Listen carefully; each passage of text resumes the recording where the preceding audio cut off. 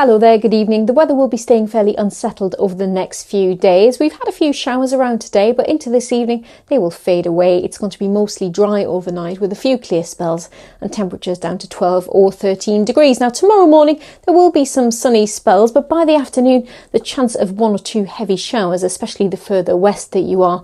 Temperatures up to around 19 or 20 degrees. It does get gradually warmer as we head through the week as high pressure starts to build, and there will be plenty of summer sunshine as well.